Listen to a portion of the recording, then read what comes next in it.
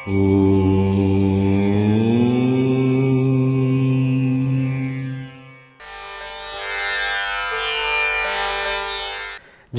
விநாசாய தேக சுத்திகராய திகம்பர தயாமூர்த்தி தத்தாத்திரேய நமோஸ்துதே அன்பான யூடியூப் நேயர்களுக்கு என்னுடைய அன்பு கலந்த பணிவான வணக்கத்தை தெரிவித்துக் கொள்கிறேன் இருபத்தி ரெண்டாவது வருஷம் பிறக்கப் போகிறது. இருபத்தி ஒன்றாவது வருஷம் முடியப் போகிறது. இவ்வாண்டாவது நமக்கு ஏமாற்றம் தராமல் ஏற்றத்தை தருகிறதா என்று ஏராளமான பேர் எதிர்பார்ப்பதுண்டு. ஒவ்வொரு புத்தாண்டு அன்னைக்கு நம்ம ராசிக்கு நல்லது நடக்குமா? இந்த வருஷம் நம்ம ராசிக்கு வந்து யோகத்தை தருமா? வீடு கட்டுவோமா? வேலை கிடைக்குமா? திருமணம் நடக்குமா? குழந்தை பாக்கியம் பெறும் பெறுவோமா? இப்படி பல பல ஆயிரத்தி எட்டு ஆசைகளுடன் எண்ணங்களுடன் எதிர்பார்ப்புகளுடன் எதிர்பார்த்து கொண்டே இருப்ப இருப்பார்கள். ஒவ்வொரு ஆண்டு ஏமாற்றத்தை தந்துட்டே இருந்தால் எந்த அளவுக்கு மனிதன் தாங்க முடியும்? ஆக இருபத்தி ரெண்டு நமக்கு சிறப்பு தரக்கூடிய ஆண்டாக அமையப் போகிறதா என்று தான் இருபதாவது வருஷம் கசப்பான அனுபவங்கள் பெருந்தொற்றை உருவாக்கி உலகத்தையே அச்சத்திலும் முடக்கியது. இருபத்தி ஒன்றாவது வருஷம் பொருளாதாரம் வேலை வாய்ப்புகள் உத்தியோக நிலைகள் மன நிம்மதி பண இழப்பு உயிரிழப்பு அனைத்து கசப்பான கொடிய சம்பவங்களை நடத்தியது. இந்த கசா கசப்பான அனுபவங்களை மனதில் எடுத்துக்கொண்டு வேதனையுடன் பயங்கரமான ஒரு மனக்களைப்புடன் மனிதன் புறப்படுகிறான்.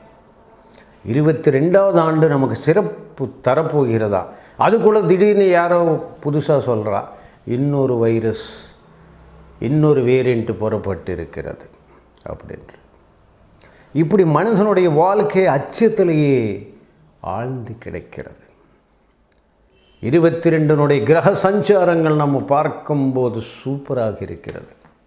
எப்படி என்று சொன்னால் வருஷம் புத்தாண்டு என்பதை கேட்டை நட்சத்திரத்தில் பிறக்கிறது. கேட்டை என்றது புதனுடைய நட்சத்திரம். ஆண்டினுடைய கணக்கு பார்த்தீங்கன்னா சுக்கரனுடைய நடப்பில் இருக்கிறது. மக்கர லக்னத்தில் பிறக்கிறது. மக்கர லக்னம் உத்திராடம் நட்சத்திரம். சூரிய பகவானுடைய நட்சத்திரம். சூரிய பகவானான நவக்கிரகங்களில் தலை தலைவன் தலைமையானவன். அவருடைய சாரத்தில் வந்து வர்க்கோத்தம நவாம்சத்தில் லக்னம் வந்து வர்க்கோத்தம பலத்துடன் ராசி வந்து மகர லக்னத்தில் கேட்டை நட்சத்திரத்தில் சனிக்கிழமை அன்று இவ்வாண்டு பிறக்கிறது. இந்த புத்தாண்டு நமக்கு என்ன நன்மை செய்ய போகிறது? காலபுருஷ தத்துவப்படி முதல் ராசி ஆகிய மேஷராசி முதல் விரயராசி ஆகிய மீனராசி வரை எத்தகையான மாற்றங்கள் ஏற்றங்கள் உருவாக்கப் போகிறது? அதுதான் கேள்வி. கிரகங்களுடைய சஞ்சாரம் நீங்கள் பார்த்தீங்கன்னா மக்கரத்தில் வந்து சனி பகவான் ஆட்சி பலத்தோட வலிமையாக உட்கார்ந்திருக்கிறார். லக்னம் மகர லக்னத்தில் புத பகவான் பாக்யாதிபதி இணைந்திருக்கிறார். கும்பத்தில் வந்து குரு பகவான் இருக்கிறார். அதுக்கப்புறம் ரிஷபத்தில் வந்து ராகு பகவான் இருக்கிறார். சந்திர பகவான் சூரிய பகவான் வந்து விருச்சிக்கத்தில் கேது பகவானோட இணைந்திருக்கிறார். தனுசில் வந்து சூரியன் சுக்கிரனோட இணைந்திருக்கிறார். இதுதான் அவக்கிரகங்களுடைய சஞ்சாரம். குரு பகவான் பார்த்தேள் என்றால் அவிட்ட சாரத்தில் அவிட்டத்தில் உட்கார்ந்திருக்கிறார். சனி பகவான் பார்த்தீர்கள் என்றால் சந்திரனுடைய சாரத்தில் வந்து அமர்ந்திருக்கிறார். ராகு பகவான் பார்த்தீர்கள் என்றால் கிருத்திகை சூரியனோட சாரத்தில் உட்கார்ந்திருக்கிறார். கேது பகவான் வந்து சனி பகவானுடைய சாரமாகிய அனுஷத்தில் உட்கார்ந்திருக்கிறார். இந்த ஒரு அடிப்படையாக கொண்டு இந்த நட்சத்திர பாதச்சாரங்கள் அடிப்படையாக கொண்டு ஆண்டு கிரகங்களாகிய சினி பயிற்சி அல்லது குரு அல்லது ராகு கேத்துகள் அடிப்படையில் இருபத்தி ரெண்டாவது வருஷம் புத்தாண்டு எவ்வாறு இருக்கப் போகின்றது என்பது தான் மிகப்பெரிய எதிர்பார்ப்பு. வருகிற ஏப்ரல் மாதத்தில் ராகு கேது பயிற்சி நிகழப்போகிறது குரு பயிற்சி நடந்துவிட்டது சனி பயிற்சி ஓடிக்கொண்டிருக்கிறது. கும்பத்தில் வந்து குரு பகவான் அமர்ந்திருக்கிறார் வியாழ வட்டத்தில் ராசியில் வந்து சனி பகவான் வலிமையான ஆட்சியில் உட்கார்ந்திருக்கிறார். வருகின்ற ராகு கேது பயிற்சியில் ராகு பகவான் வந்து மேஷத்துக்கு வருகிறார். ஆன்டி கிளாக் வைஸ் டைரெக்ஷனில் கேது பகவான் வந்து துலாமுக்கு வருகிறார். இந்த ஆண்டு கிரகங்களின் பயிற்சி அடிப்படையில் இருபத்தி ரெண்டாவது வருஷம் என்ன சிறப்படிக்க போகிறது? என்னென்ன ராசிகள் கொடிக்கட்ட போகிறது? அப்படின்றத நம்ம தெரிந்து கொள்ள வேண்டும்.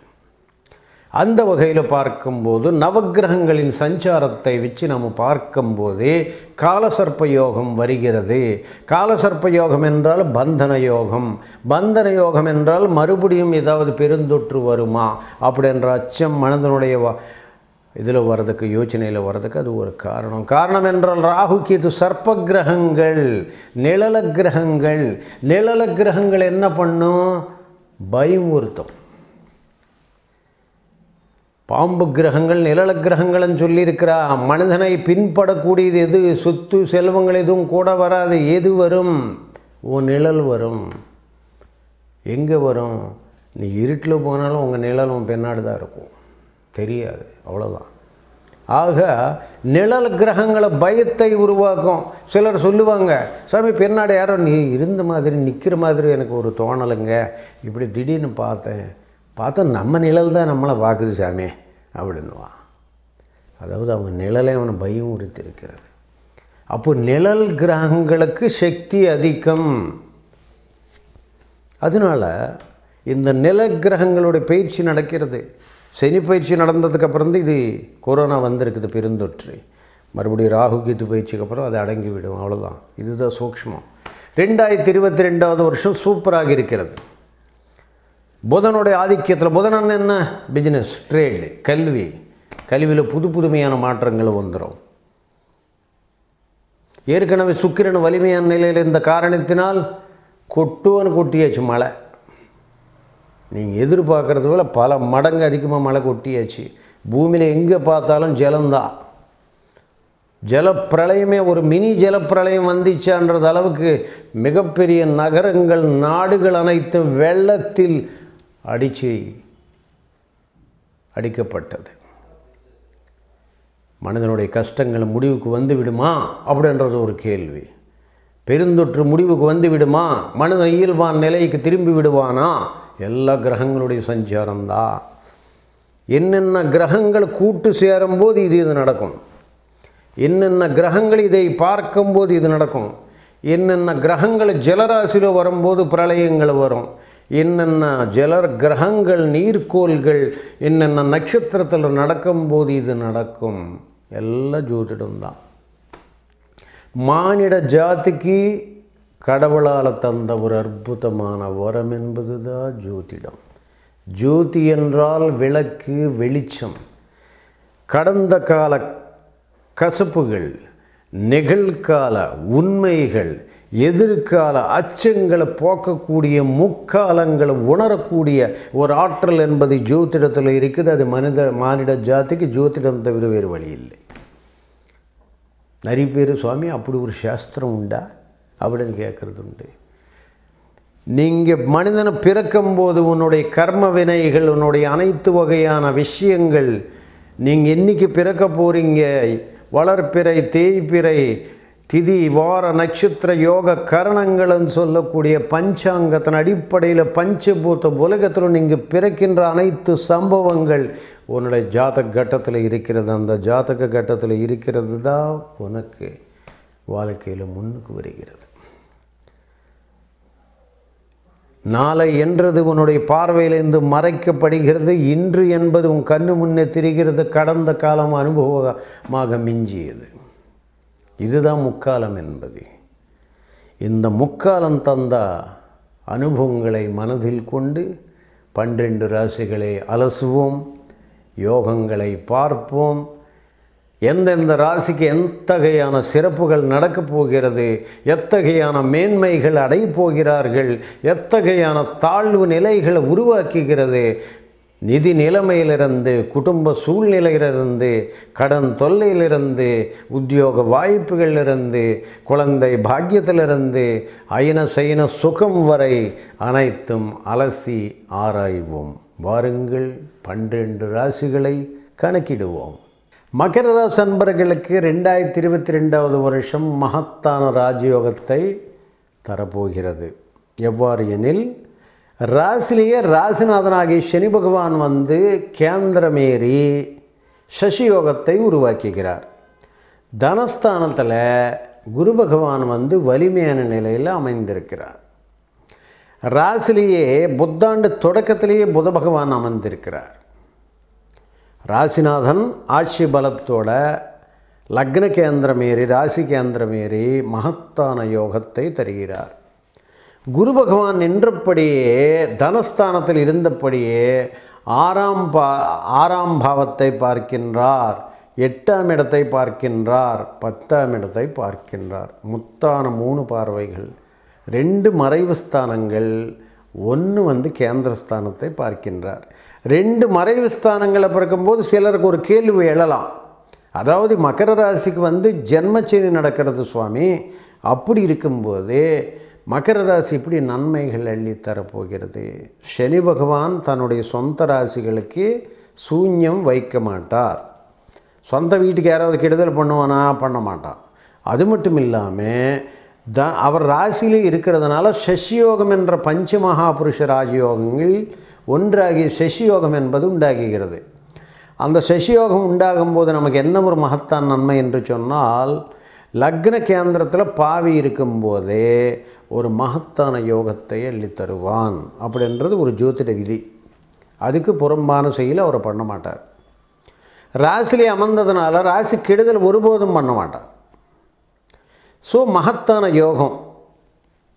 அடுத்து வந்து குரு பகவான் வந்து ஆறாம் பார்வையாக. எப்போ குரு பகவான் தன்னுடைய பொன்னான் பார்வையாக? ஆறாம் வீடு.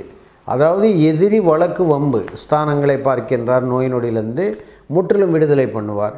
வழக்குகள்லேருந்து வேஜ்யங்கள்ல இருந்து முற்றிலும் வெற்றி பெறக்கூடிய அளவுக்கு நீண்ட நாட்டுகளாக கேஸுகள் நிலுவையில் இருந்த கேஸுகளை முறியடிப்பார். எதிரிகளை அஞ்சு வைப்பார். எதிரிகளினுடைய தாக்கம் குறைந்துவிடும். கடன்லேருந்து விடுதலை. ஏன்னா பல வருஷங்களை கடன்கள் வட்டிகள் கட்டி கட்டி செலுத்து வண்ணத்தில் வேதனைப்பட்டு நமக்கு ஒரு இது குறையற்ற செல்வம் நோயற்ற வாழ்வுன்ற மாதிரி நமக்கு செல்வம் குறைந்தது. அதாவது குறையற்ற செல்வம் இருந்தாலும் பரவாயில்ல. ஆனால் கடனாகி போய் நோய் வ- கடனால் நோய் வந்து இப்படி வேதனைப்பட்டுட்டு இருந்து ஜென்மச்செரியில் தொழில் எல்லாம் சூன்யமாகி அல்லது பெருந்தொற்று காலத்தில் பல தொழில்கள் வந்து வீணாகி பயங்கரமான கடன்களுக்கு தள்ளப்பட்டு வேதனைப்படுகின்ற முற்றிலும் அந்த நிலைகள் மாறிவிடும். ஸோ ஒரு அற்புதமான யோகம். அது மட்டும் இல்லாமல் எட்டாம் வீட்டுன்னு பார்க்கின்றார். எட்டாம் வீட்டுன்னு பார்க்கும்போது முதல்ல ஆயுள் ஸ்தானம் அது துர்ஸ்தானம் கெட்ட ஸ்தானம் ஆயுள் ஸ்தானத்தை பார்க்கும்போது ஆபத்து விபத்துகளை விளக்குவார். எதிர்பாராத தனலாபத்தை வர வைப்பார் எதிர்பாராத அதிருஷ்டத்தை நமக்கு அர கொடுப்பார். ஒரு மகத்தான நீண்ட நாட்டுகளாக நீண்ட வருஷங்களாக இந்த குரோனிக் டிசீசஸ்ன்னு சொல்லக்கூடிய பல வருஷங்களாக இருக்கின்ற நோய்கள் எல்லாம் குணப்படுத்திடுவார். எதிர்பாராத ஒரு செல்வ சம்பத்துகளை கொடுப்பார். உயிர் சம்பந்தமான சொத்துக்கள் பூர்வீக சம்பந்தமாக அல்லது இடம் தெரியாத பல வருஷங்களாக அது ஒரு அடையாளம் காணாத சொத்துக்களாக இருக்கும். அந்த சொத்துக்களுக்கு இந்த காலகட்டத்தில் மதிப்பு வந்து அவங்களுக்கு சம்பந்தப்பட்ட நபர்களை தேடி வரக்கூடிய அளவுக்கு ஒரு அற்புதமான யோக பார்வை என்பது எட்டாம் பார்வையில் விழும்போது க கிடைக்கும். அதுக்கப்புறம் தொழில் ஸ்தானத்தை பார்க்கின்றார். எப்போ தராசு தொழில் பார்க்கின்றாரோ மிகப்பெரிய யோகத்தை கொடுப்பார் மகர ராசிக்கு.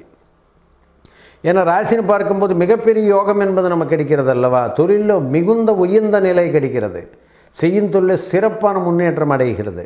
எது தொட்டாலும் நமக்கு தொடங்குகிறது.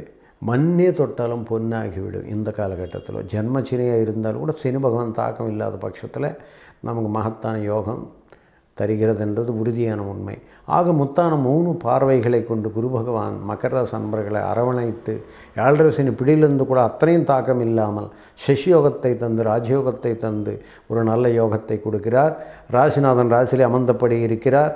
ராசியில் வந்து உங்களுக்கு வந்து மகத்தான ஒரு யோகத்தை தரக்கூடிய பாக்யாதிபதி புதன் வந்து ராசியில் அமர்ந்திருக்கிறார். லக்ஷ்மி ஸ்தானாதிபதி. லக்ஷ்மி ஸ்தானத்தில் அமர்ந்தபடியே விசேஷமான யோகை தனஸ்தானத்தில் குரு பகவானோட தனவாக்கு சம்பத்துகள் மூலமாக குடும்பத்தில் சுப நிகழ்ச்சிகளை நடத்த வைக்கிறார். மூணு கூடிய குரு பகவான் ரெண்டில் உட்கார்ந்தபடியே முயற்சிகளை முன்னேற்றமாக்கி முயற்சிகளை வாக்குகள் மூலமாக அல்லது உதவிகள் பெரியவங்கள மூலமாக உதவிகளை தேடி வந்து தனவாக்கு குடும்பஸ்தானங்களை மேலோங்க செய்கிறார். நாலாம் பாவத்தினுடைய செவ்வாய் அதிபதி நாலாம் பாவத்துக்குரிய செவ்வாய் பகவான் வந்து நமக்கு வந்து ஒரு விசேஷமான யோகத்தை அள்ளித் தருகிறார் காரணம் என்றால் அவர் வந்து பதினொன்றாம் பாவத்தில் லாபஸ்தானத்தில் நின்று எப்போ வாங்கி போட்ட இடத்துக்கு வந்து பல மடங்கு உயர்ந்த நிலையை கொடுக்கிறார். சந்திரனோட சேர்ந்து சந்திரமங்கல யோகத்தை கொடுக்கிறார். பதினொன்றாம் பாவத்தில் சந்திரமங்கல யோகம் நீச்சுபங்கராஜ் யோகம் மாறி மகத்தான யோகம் தருகிறது. அதனால தான் ராசிக்கு வந்து மகத்தான நன்மையினே சொல்லலாம். ராசிநாதனா அதாவது ராசிக்கு யோகநாதனை சுக்கிர பகவான் வந்து விரயத்தில் இருக்கிறார் சூரியனோடு சேர்ந்து. இது ஒரு எதிர்பாராத நன்மைன்னு நம்ம சொல்லலாம். ஏன்னா எட்டு ப ப இதுக்கூடியவனாக வருகின்றான். ஸோ ஒரு விசேஷமான நன்மை தருகிறது நமக்கு. அது வந்து மறுபடி மேற்கொண்டு நமக்கு தரக்கூடிய நன்மைகள் என்று பார்த்தால் பத்து கோடி சுக்கிர பகவான் வலிமையான நிலை பதினொன்று கூடிய செவ்வாய் பகவான் வந்து ராசிலே ஆட்சி பெற்று விசேஷமான நன்மை. அது மட்டும் இல்லாமல் கேத்தோடு இணைந்திருக்கிறார். எதிர்பாராத செல்வத்தை அள்ளித் தருகிறார் இந்த வகையில் இப்போ மறுபடியும் ராகு கேத்து பயிற்சியில் நமக்கு என்ன ஆகிறது? கேத்து பகவான் வந்து நமக்கு மறுபடியும் உங்களுக்கு பத்தாம் வீட்டுக்கு வருகிறார். ராசிக்கு பத்தாம் வீட்டுக்கு வருகிறார். ஸோ அது வந்து ஜென்மகேத்தாக துலாமில் வருகிறார். அதுபோலவே ராசி அதாவது மேஷராக வருகிறார். ஸோ இதுவும் ஒரு அற்புதமான நிலையென சொல்லலாம். ஆக மொத்தத்தில் ராகு கேத்து பயிற்சியில் ஆகட்டும் குரு ச குரு பகவானுடைய அதிசார குரு பயிற்சியில் ஆகட்டும் அடுத்தடுத்து சனி வக்கர பயிற்சிகள் ஆகட்டும் மகர ராசி மிகுந்த நன்மைகள் அள்ளித்தரதிலோ மகத்தான ராஜயோக அமைப்புகள் அள்ளித்தரதிலோ எந்த விதமான சந்தேகமில்லை சர்வே ஜனா சுக்கினோ பவந்த்.